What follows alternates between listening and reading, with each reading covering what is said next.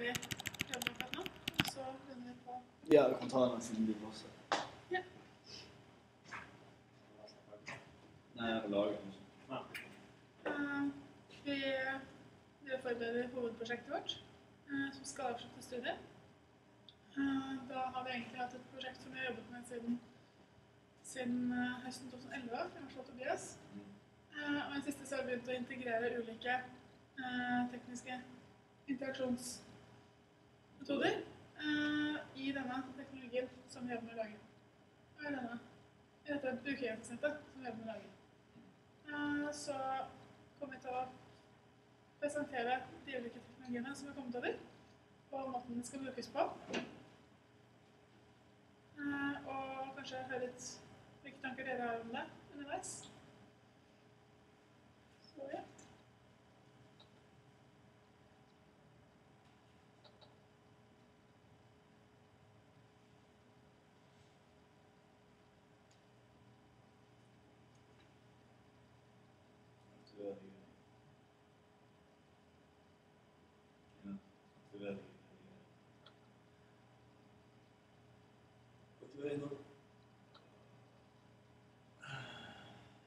Dette var ikke akkurat ny teknologi. Nei, dette tar steinalder.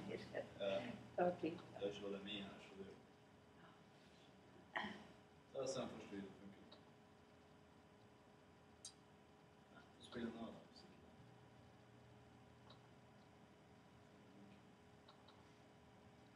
Der, ja.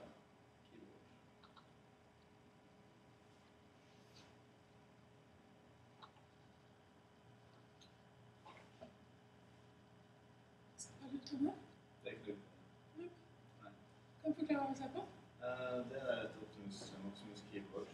Um, Det har eh, en skjerm på hver tast. Det betyr at du vil ha muligheten til å enklere se hva de tastene brukes til på programmet du er. Så hvis du bruker Word, så er det latinske tegn, latinske bokstaver. Hvis det er Word Walkout, så er det tegn for å gå forward, bakover og taste forskjellige spells. Hvis det er Final Cut Pro videogame-program, så er det en knapp som viser hvor du klippe, hvor du går videre til neste frame. Så du da har bedre eh, bedre interaksjon med datamaskinen eh, for bruken. Mer intuitivt som bruker. Rett og slett bilder på tastene. Ja. det er også fargekoder eh, for Photoshop. Så du kan eh, skifte farge. Du bare trykker på den fargen du vil ha. Og greit hvis du trenger den også. Så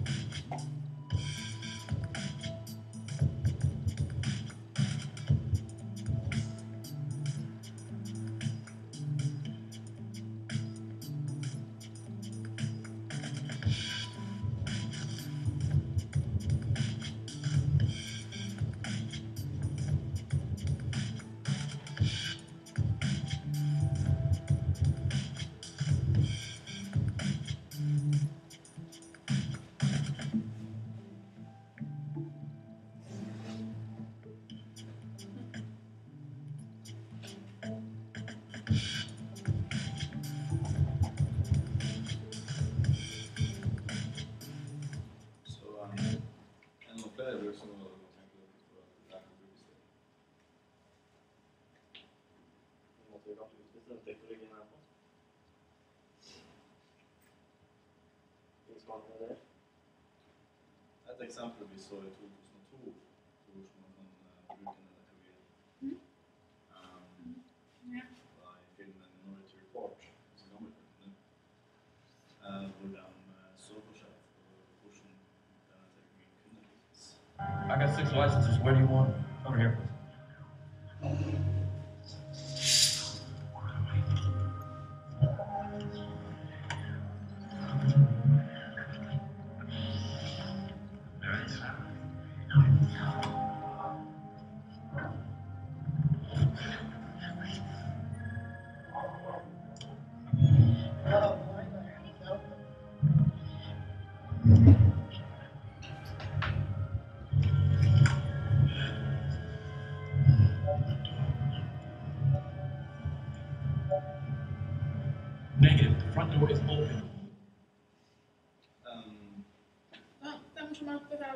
2002. På det tidspunktet her så var det fullstendig fjernt.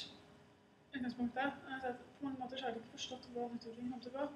Eh, Det at de f.eks. har filflytting i fysiske formater. Ok, De tar med seg en greie, kjører den inn i en maskin, flytter den bortover og kjører den neste. Det er jo helt fjernt i dag. Vi ville brukt skyteformater. Vi ville brukt Altså, de burde i det minste kunnet flytte den over til enheten i hånda og så plassere den et annet sted.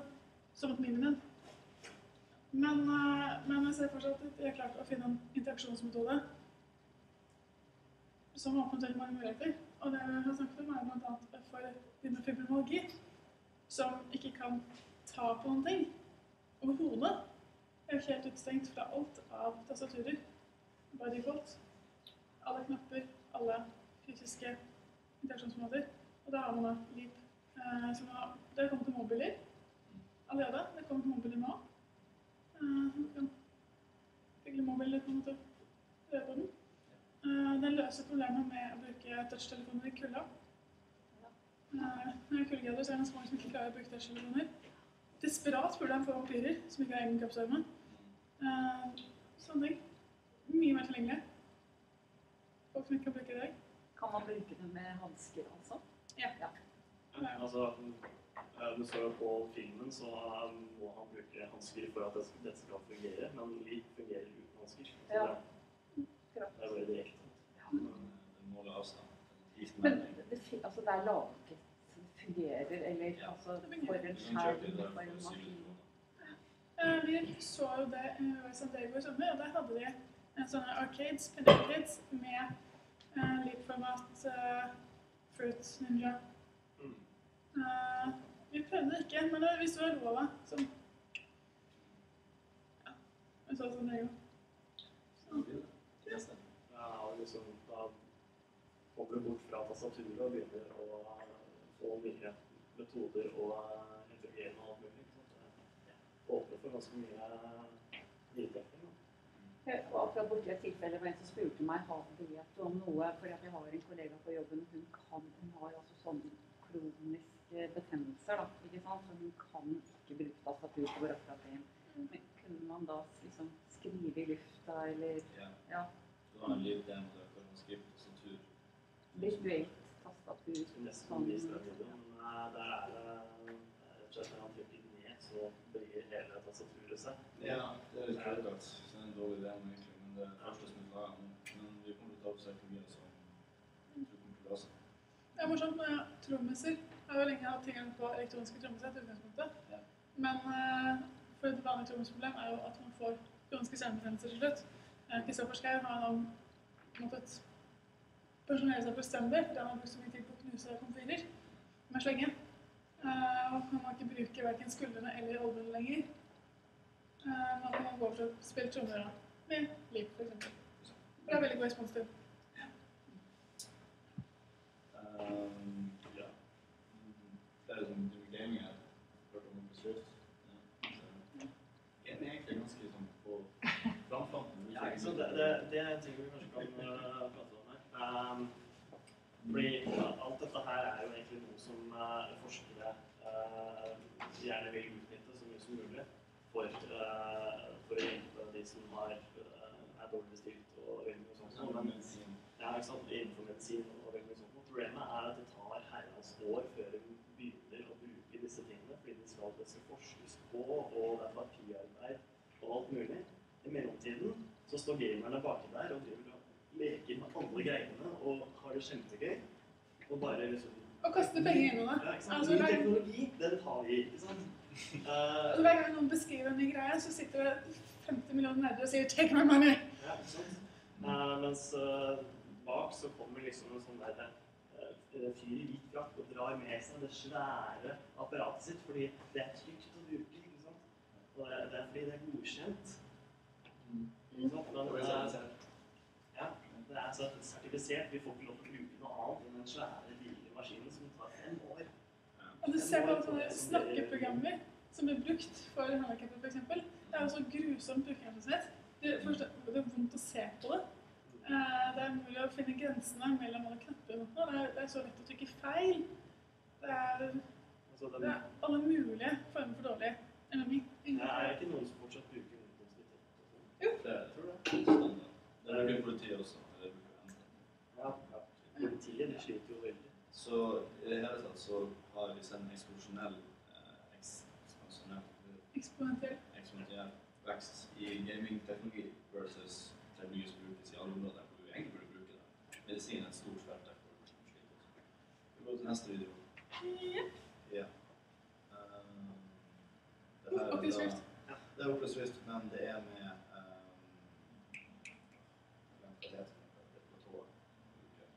Temaet har et spesielt uh, Ah, ja, det husker jeg. Men eh, det er da eh, De har tatt eh, bilder av eh, personer i en stilling. Eh, 360 graders bilder rundt hele personen. Og så har de lasta det inn i et rom som man da kan gå i med oppløst luft. Det er snakk om eh, makrooppløsning, så det føles veldig virkelighetsfullt. Helt en Det er spørsmål. Enn i dag enn i krig.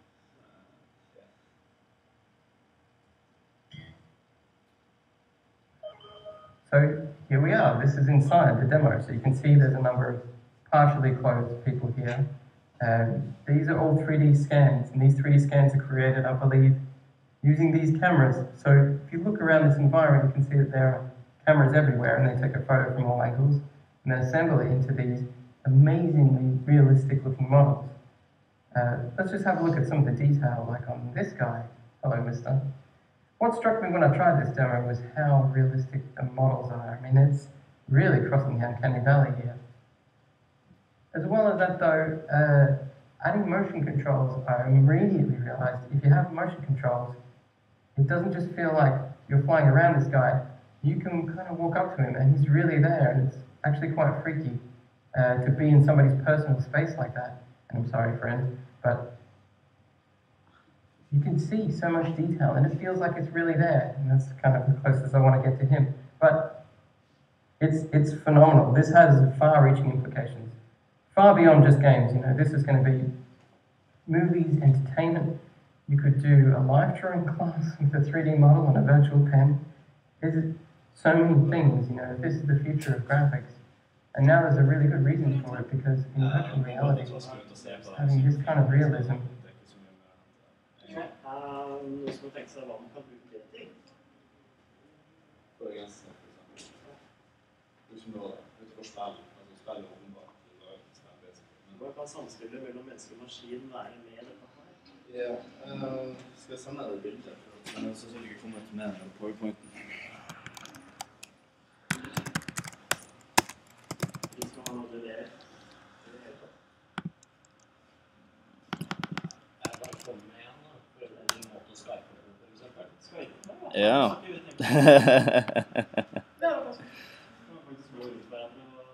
Gå på Facebook.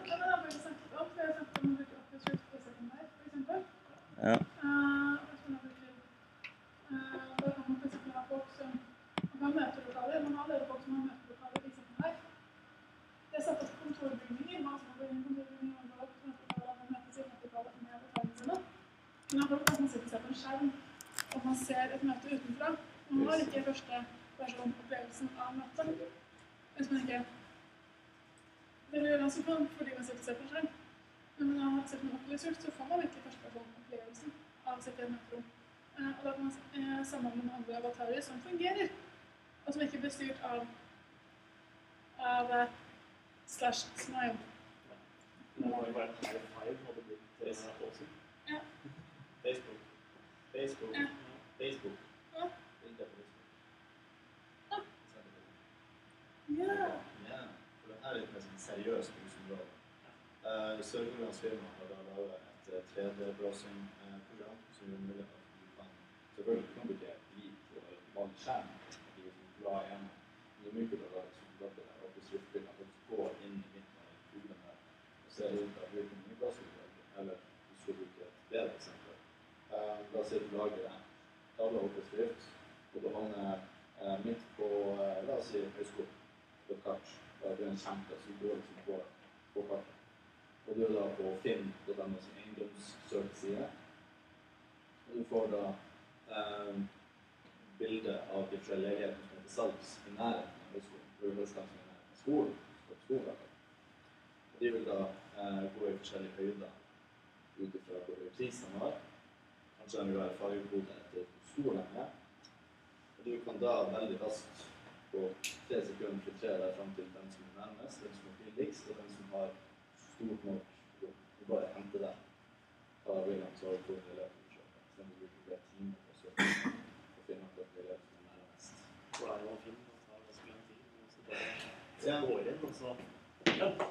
Ja.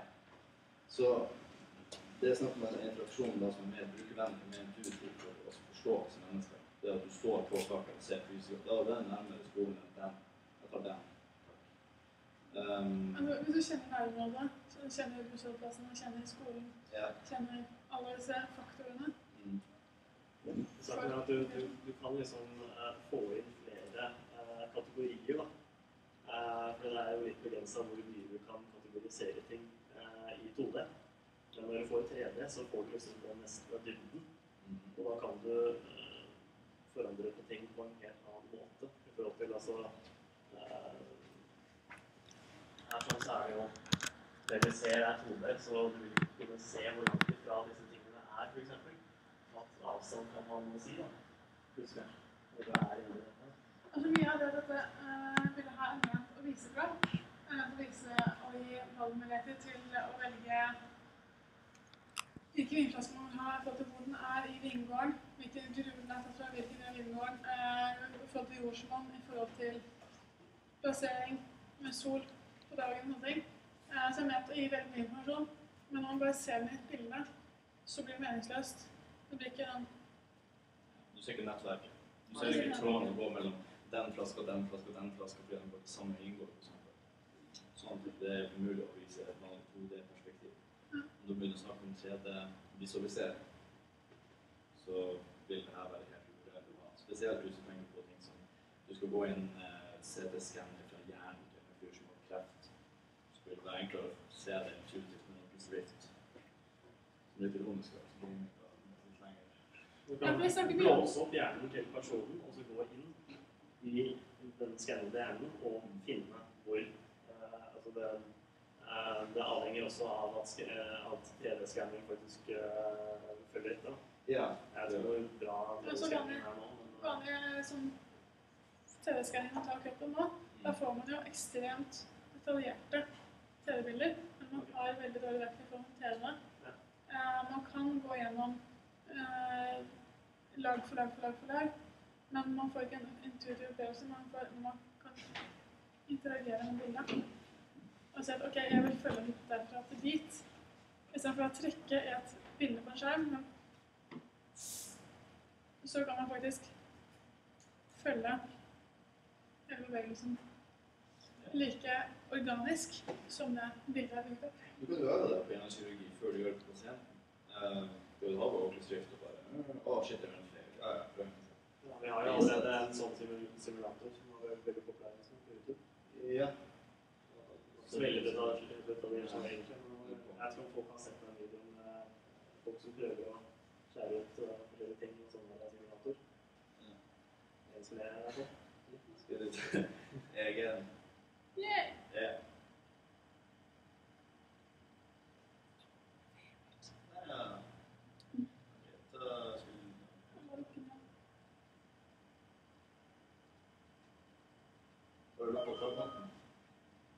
Har du lukket kabelen?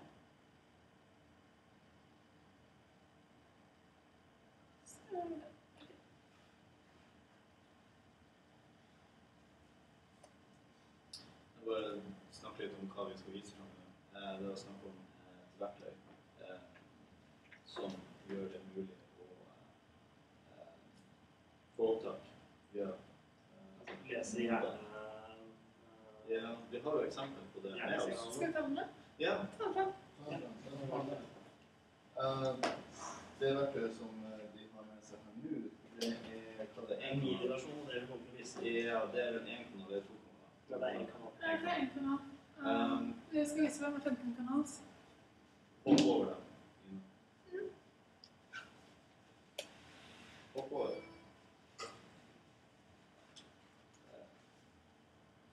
Um,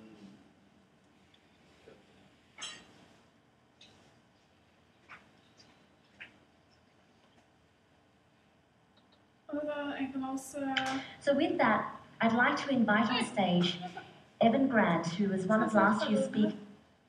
eh, er eh,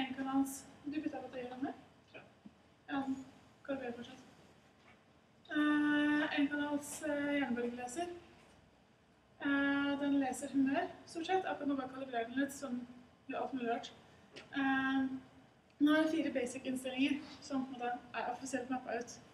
Eh, som leser fire timer humør. Hun leser eh, være fokusert, avslappet eh, og ulike reaksjoner. Ikke alle reaksjoner, faktisk. Men etter hvert så blir det innrømt man ser at den viser faktisk mye mer den offisielt skal ha mappa ut. For det blir mye kommunikasjon med den. Jeg satt på en restaurant som Vegard man er på meg enn den første gangen etter tritten, og fikk spørsmål om det skulle være påfyll. Jeg vet ikke hva den gjorde, men han tok det som en bekreftelse. Den jo sånn. Litt Eh, greit, jeg det. Jeg hadde ikke bestemt meg det, jeg bare så tenkte på det. Han bare tok som et ja, og så gikk han og henta den. Eh, og folk reagerer eh, ganske mye på det som kommunikasjonsform. I det de kommer over det første sjokket, egentlig. Jeg har gått offentlig med noen ganger, og det er sånn sånn Folk reagerer ikke på at jeg har på en kattør eller ser så rart ut som noe. Men så er det, idet det de passerer, så er det plutselig noe skriker! Og så måtte, man så må man på bruke en sekund på å komme seg ned fra det. At det beveget på seg. Til de skjønner at det er en interaksjon her mellom meg og ørene. Uh, Det er ikke tilfeldig bevegelse. nei. Uh, det er laget også uh, haler til disse her. Som også kunne både ha på seg ørene og hale. Og det er veldig- som logrer du blir oppstilt. De har veldig mange ulike uttrykk. Eh, og det er veldig mange eh, som som syns at det er vanskelig å lese kroppsspråk eh, hos mennesker, og som faktisk syns det er lett å forholde seg til disse her. Eh, mange autister, f.eks., syns at det er lettere eh, å se at eh, noe de sier, gjør inntrykk på andre ved å lese slike signaler. Eh, vi syns det er morsomt av og til, fordi eh, vi kan Altså, vi er et par, så i utgangspunktet så ser vi ganske godt hverandres reaksjoner. Men det hender at jeg sier ting som jeg med inntrykk av jeg trodde at det kom til å gjøre. Så på en måte begynte ok, hva, hva skjedde nå egentlig? Hva, hva var greia nå? Mm, ja, Hvis jeg har på ørene, så avslører det med en gang. egentlig Hva, hva betyr Altså, de ser de ørene dine viser sånn, og så snur de seg liksom. Hva, hva føler du? Hva kan Ja, være um, Han ser dem ikke. ok, Nå tenkte han over det. Ja, ikke sant. Da da det tvista med en gang. Eh, hvis man er avslappa, så eh, legger de seg bakover. Ja. Eh, og hvis man er eh, generelt nysgjerrig på omverdenen, eller noe, så vil den være veldig Aktiv. aktiv. sånn som. Ja. Det er, det er veldig mange inntrykk, og vi står på en måte og tenker skal si hele tiden. Og det reflekteres. Så er det stressa, vet jeg. Ja. Eh, jeg husker ikke hvordan den beveger seg da. Jeg tror det er sånn. Ja, Eh, hva var den siste dosen? det er er veldig sånn, uh, fokusert. Da står du rett opp, helt stille. Så er det kjempefokusert. Ja, fokusert. Uh, og så tror jeg at den har funnet på selv fått. For da gjør sånn. Okay. Um, Men vi kan se at dere tenker veldig på det, si, for da er Ja. mye mm. Jeg vet at det ser ut som er sånn en oase av ro og selvbeherskelse her, men Er dette bare én kanal? Eh, Så én kanal kan lese fire bonuser. Minst. Ja, du kan tenke deg hva denne her kan gjøre. Who's kindly agreed to help me to demonstrate what we've been able to develop.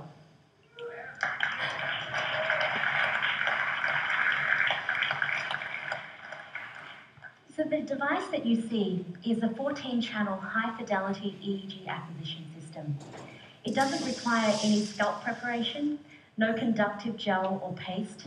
It only takes Det er mulig at uh, skru på sånn der blandingsgreier utenfor. Nei, det går automatisk ut. Men eh, kan du tenke på det? Det er ikke. Det er litt godt her. Det dekker ikke. Det er Det er jo sånn- fint. Det er ikke smart. For Det er jo sånne vanlige Vi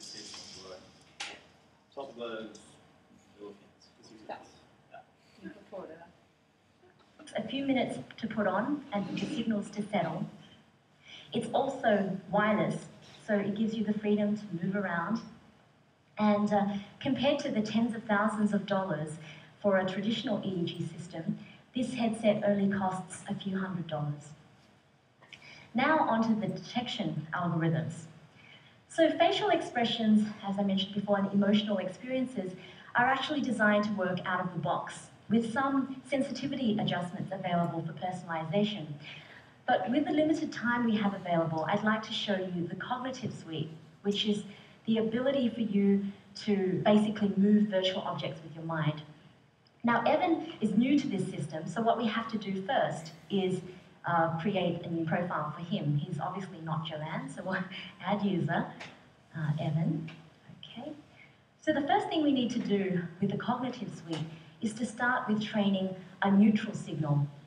With neutral, there's nothing in particular that Evan needs to do. He just hangs out, is relaxed. And the idea is to establish a baseline or normal state for his brain because every brain is different. It takes eight seconds to do this. And now that that's done, we can choose a movement based action. So, Evan, choose something that you can visualize clearly in your mind. Steve, pull. Okay, so let's choose pull. So the idea here now is that Evan needs to imagine the object coming forward into the screen, and there's a progress bar that will scroll across the screen while he's doing that. Um, the first time, nothing will happen because the system has no idea how he thinks about pull. Uh, but maintain that thought for the entire duration of the eight seconds. So one, two, three, go.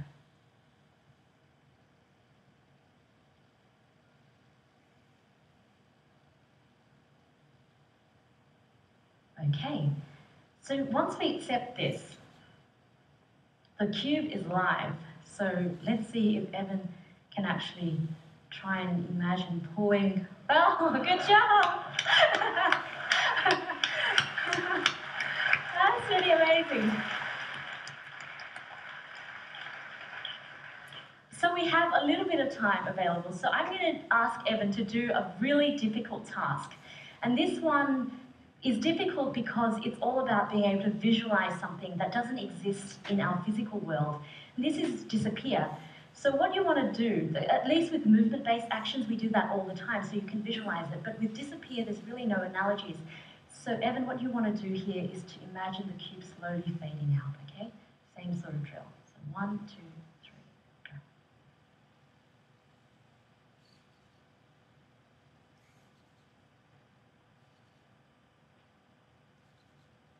Okay, let's try that.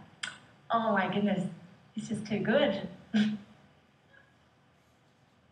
that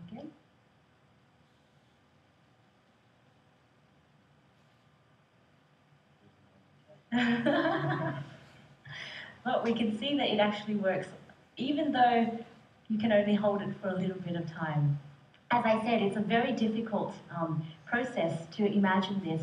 And the great thing about it is that we've only given the software one instance of how he thinks about disappear. Um, as, as there is a machine learning algorithm in this.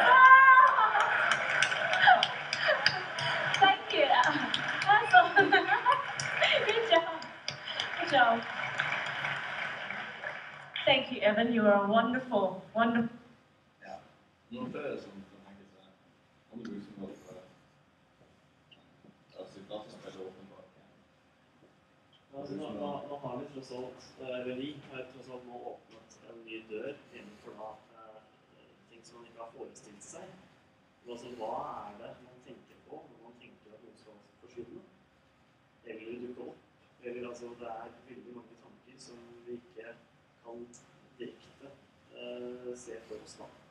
Som vi nå kan faktisk eh, Som vi kan eh, eh, legge til en, eh, som en funksjon.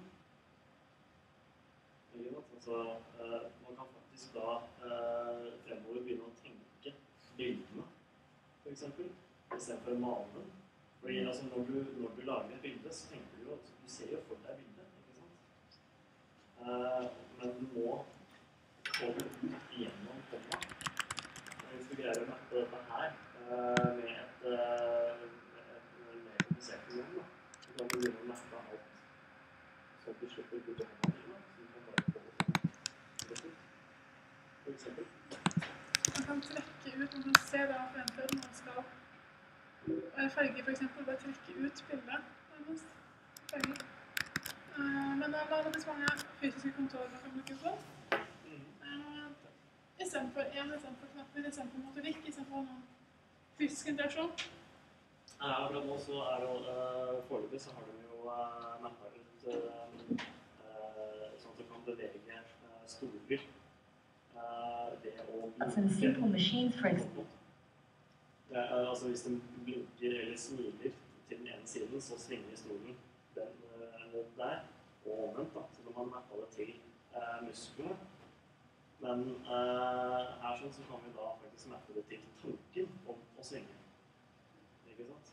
Man har begynt å få en del videoer allerede, for det er jo salg allerede eh, for 700 dollar. Så får du sånn 15 dollar uansett. Eh, og man ser masse videoer allerede på YouTube av folk som har begynt å styre fjernstyrte fly og slekting med disse apparatene. Ja. Example. Uh, in this case, flying a toy helicopter simply by thinking lift with your mind.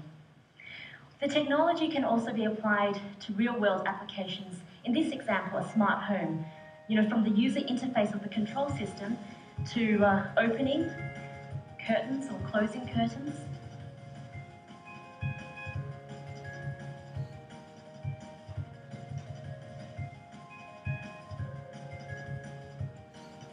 Also to the lighting, turning them on or off. And finally, to real life changing applications, such as being able to control an electric wheelchair. Uh, in this example, uh, facial expressions are mapped to the movement commands. Now blink right to go right.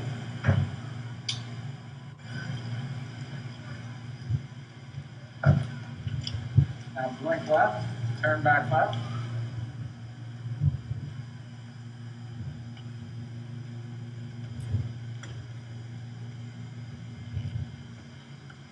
Now smile to go straight. We really, are. thank you. I sommer i juli så ble også eh, dette apparatet første gang eh, brukt til å bli det første mekaniske diagnoseverktøy for ADHD. Eh, det er første gang man har klart å finne en nevrologisk målbar fellesnevner som har vært i stand til å stille diagnosen. Det må det vært i stand til å gjøre før. Så det er en eh, helt ny utvikling med et verktøy. Skal vi gå videre? Ja. Ja. Så ehm, kombinert med det vi har sett til nå, pluss den linken jeg sendte på Facebook Linken jeg sendte på Facebook. Mm, Facebook. Facebook. Ehm, Um, uh, så har man nå utvikla en kryptografimetode der du lager passord i undervisningen. Det vil si at du ikke vil trenge å ha tastatur eller noe som helst fysisk modus for å skrive inn passordet. Du bare tenker på det. Og med da en sånn hjelm med 14 hoder, så kan du bare tenke på passordet ditt. Det er heller ikke mulig for deg å Det kan være mulig å maskere passordet ditt bare bevisstheten er passordet ditt, så ikke den øvrige bevisstheten som faktisk kan på si passordet, kan si det. Så det er sikkert fra deg sjøl også. Altså, du, du, kan, du kan mappe et passord til en følelse. Ja. Hvor lenge er det på siden? Du kan, du kan tenke på et eller annet som får deg til å bli trist. Jeg får komme noen bilder fra Swordfish, er det noen som ser den filmen? Swordfish?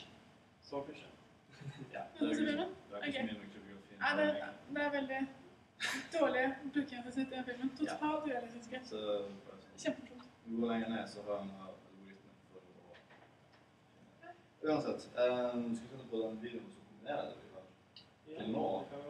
til nå. Ja.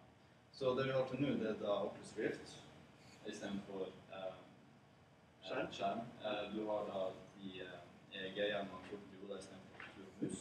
Mm. Og istedenfor liv. For at hvis du ikke trenger å bevege armen engang, hvorfor Ja, har du det? liksom? Ja, vi kan Eh, anime. Så det her er en anime-serie som da kombinerer eh, mye av det som vi har snakka om til nå.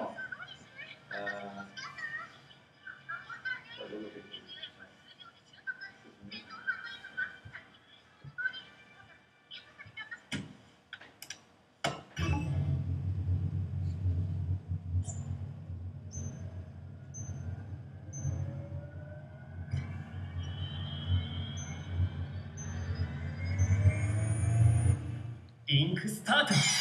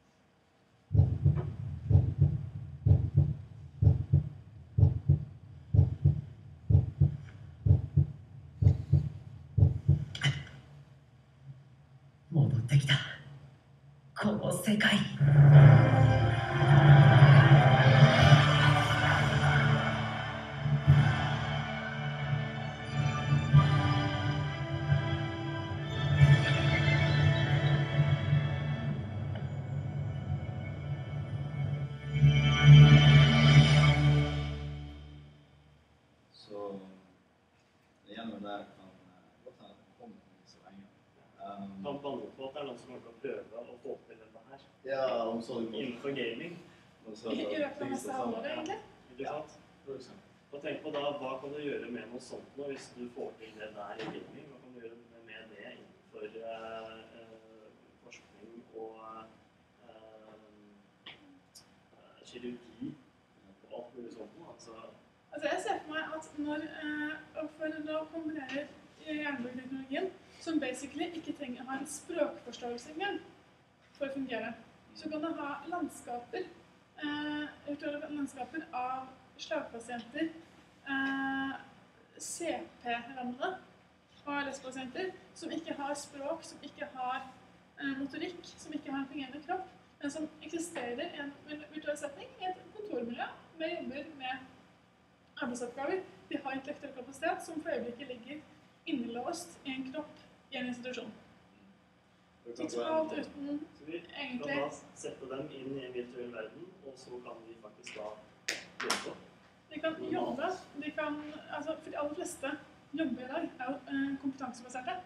Det er ikke sånn at du faktisk trenger å gå rundt et kontorbilde og fungere. Du trenger ikke gå til kopimaskinen, gå til makulatoren eller til lunsjrommet ditt.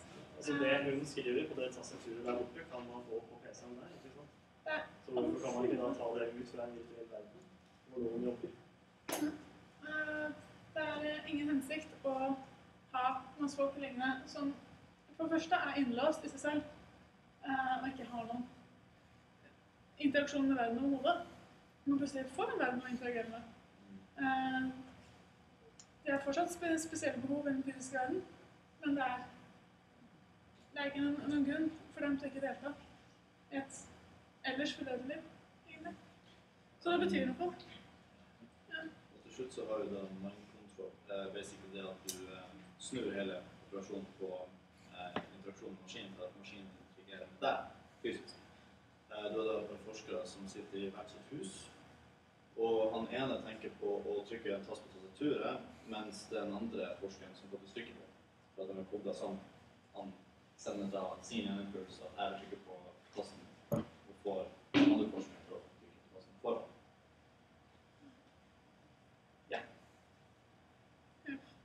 Så da har man enda et skritt Det, det er faktisk noe som da fungerer. Det er, de har testa det, og Ja. det, det fungerer. Jeg vet ikke hva som skritt til, så Det tar så lang tid. Bare gå dit.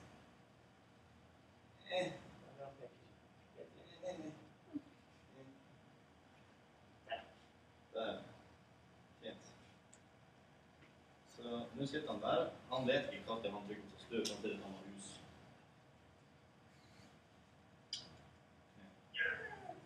Så um, det var ikke han som gjorde det. Han tenkte ikke på å trykke på.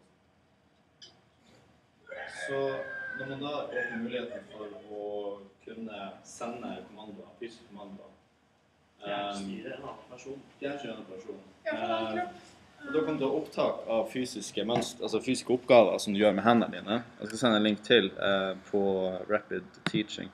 Eh, for du har jo oppretta også teknologi som du bruker for å trene opp dronepiloter i USA, eh, som er en type eh? Jeg sender linken, Nina. Det er da transkranial stimuli, stimuli med et ja, basically bare et 9 volt eh, sånn røykvarsbatteri kobla opp i hjernen som skrus på når du skal lære deg ting som tar mange repetisjoner. Hvis du skal trenes opp til å bli en dronepilot, f.eks., um, så vil du da helst eh, kunne gjøre det på kortest mulig tid. Så DARPA har da utvikla det her verktøyet, er en hette som sender en puls, uh, som forteller hjernen din at uh, du har gjort denne oppgaven tusen ganger, ikke bare én gang. Og hvis du da kombinerer det med at du kan ta opptak av fysiske bevegelser, som du kan trykke på en tast eller andre ting, så kan du ende opp med resultatet som du ja, spiller kristeklipp. Ja. Så hva, hva kan man Hvor langt kommer man da med alle disse tingene? Ja.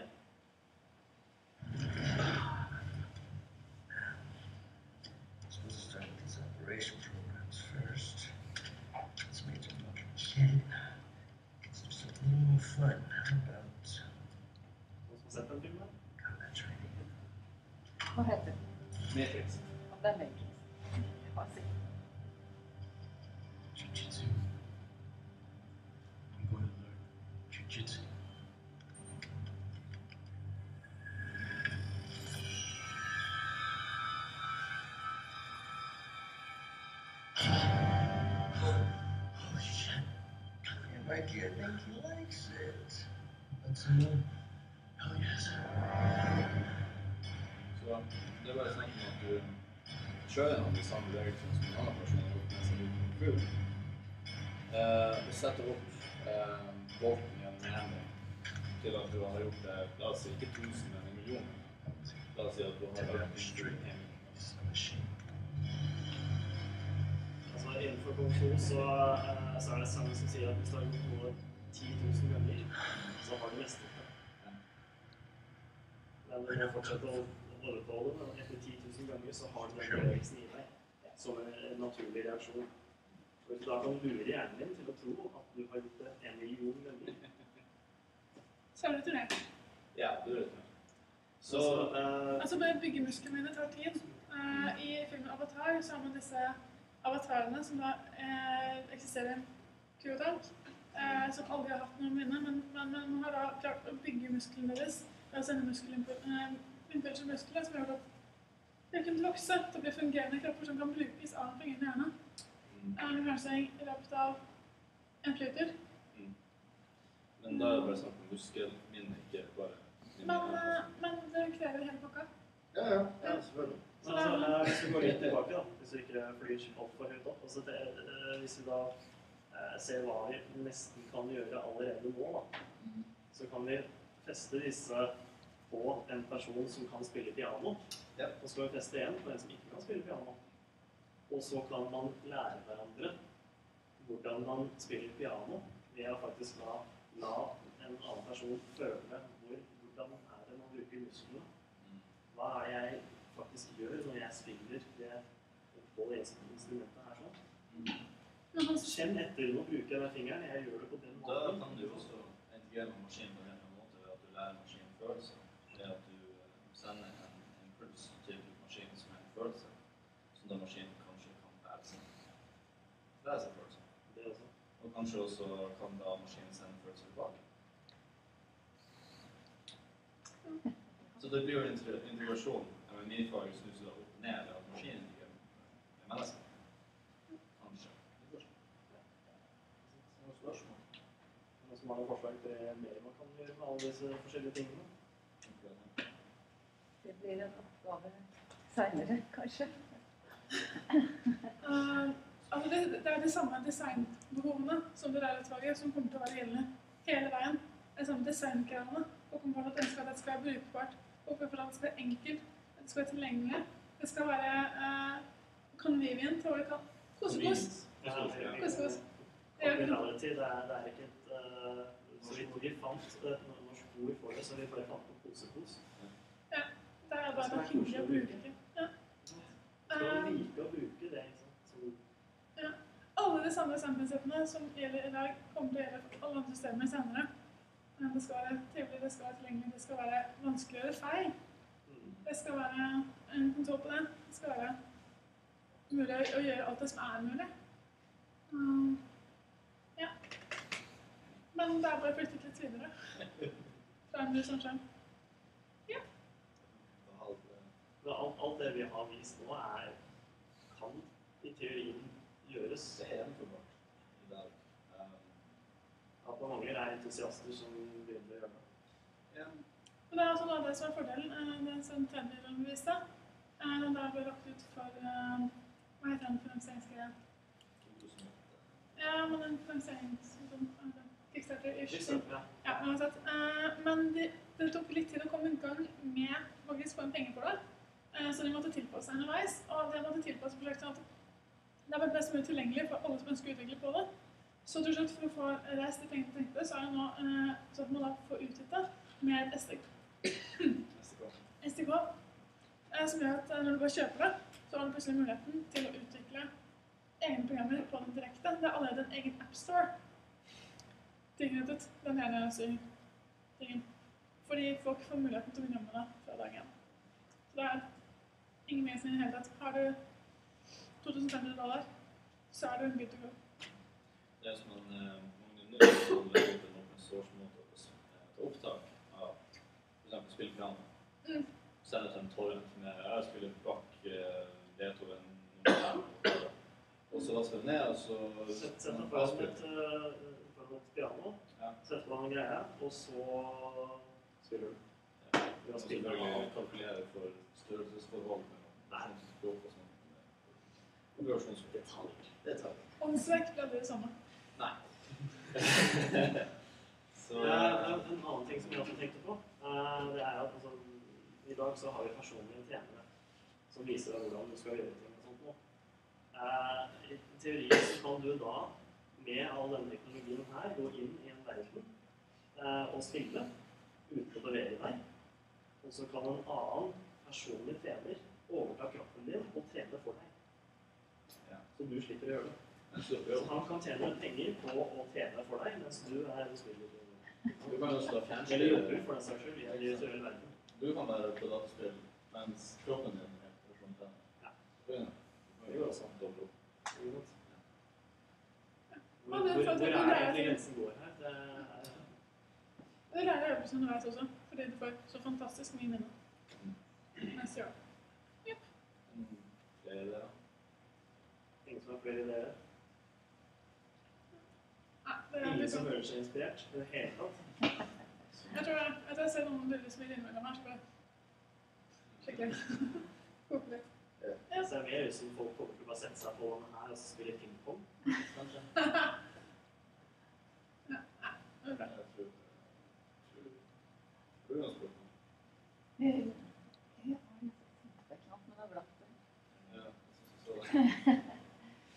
er. Ja, altså, pingpong i seg selv blir da et mind game. Det er det. Føle føle noe følelsen for en person på en måte. Å, stein, saks, papir. Ja, det kan bli brutalt. Men jeg bare tenkte, det, det har jo altså, altså Pengene er jo ofte i gamingverdenen. Jeg hadde akkurat i går besøk av en forsker her nede, og vi diskuterte disse tingene. fordi at eh, det du snakket om, altså den medisinske verden, ja ok, det er eh, Man kan ha mange gode ideer og så videre, men man får ofte ikke penger til det. ikke sant? Det er det er veldig viktig at det kommersialiseres, så veldig mye kommer fra spillverdenen. Altså, du kan enten Eller, ja. kommersialisere det, få det ut etter et år, eller sette det gjennom papirmølla på byråkratiet og vente ti år. Men det som er litt morsomt, er at Ja, for det er tidligere er Planleggingsprosessen alene byråkratiet tar to år, liksom. Ja. måtte Men tidligere så var det krig som styrte teknisk utvikling. Ja. Men det er det ikke lenger. Nå er det gaming som styrer teknisk utvikling. Ja. Så mens eh, man må liksom søke etter litt penger for å begynne å utvikle en idé, og som man mest sannsynlig ikke får penger for heller, fordi det er for avansert eller Ja. det er ambisiøst. bare skummelt, rett og slett. Da. Så imens så står da gamerne i bakgrunnen og kaster penger på deg. Ikke sant? Så bare utvikle, kom igjen, prøv. Bare lek med det. Ikke sant? De har ører som beveger på seg når de tenker. Ikke sant? Det koster ikke seg deler. Nei, det kosta 70 dollar. Det er én kanal. Det er bare 13 til. Men jeg vil vi følte for å gi dere denne informasjonen, som dere har fått ut her og starte startet dere sine prosjekter som bruker teknologi. Lager ny teknologi. Eh, da hadde jeg liksom en av dere politikksaker det på enn de andre Og det er best en gratisversjon av SDK til hjernestyret. Er. Så man kan laste en gratisversjon for å lage funksjonaliteter og apper til hjernestyret. Det er bare å begynne. Vi skal prøve å få det. Headsetet hit til skolen, så man faktisk kan prøve det ut og begynne å utvikle skolen. Så noen av dere har et prosjekt som kommer til å ta i bruk eh, hjernestyring, tastatur og mus, så får dere bare sånn Ja, eh, Jeg har søkt litt penger, så jeg bare venter på svar. Og hvis vi får det, så kan vi faktisk kjøpe inn litt utstyr og Problemet som skjer nå, er at dette er åpne brukerhetsnett. Det er åpne utviklersett. Eh, Man kan, man kan koble til Android. Fleste appene som lages for hjernestyring, er koblet til Android. Uh, som åpent. Um, det er i går. Rundt out.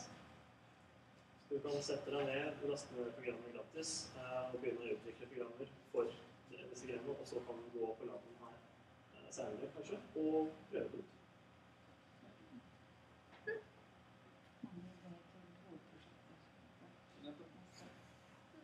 Ja, det det hvert fall. Dere har jo Så vi, eh, vi skal nå snart ha uh, prosjektet vårt. Uh, som dere også skal ha i slutten av uh, skoleperioden, den siste halvåret. Med de ideene her. Altså, vi, vi skal gå berserk. Vi stopper ikke med Altså, vi, vi har ikke noen grenser nesten vi nå. Og det hovedmålet vårt er å lage et brukerhetsnett som er veldig tilgjengelig. Som gjør at det er så, ja, i hvert fall et navigasjonsverktøy for å kunne bruke et.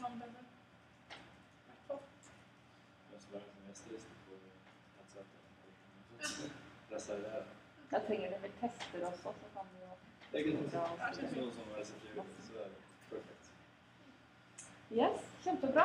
Da- takker vi for inspirasjonsforedrag. Og så sender dere, altså i tillegg til at dere legger det ut på alle linker og alt sånt, Ja. så lager vi en Ja, det er gøy. Og så lager vi en sånn spilleliste på YouTube. Ja, jeg kan gjøre det også. Um, På et eller annet Turbodevs, eh, Facebook-siden med Turbodevs. Det blir film om det. um, kan bare legge sende det til meg som er på Laste Ja. Bare for å skrive klassen. Ja. Jeg får gå inn flere. Yes, Kjempebra. tusen takk.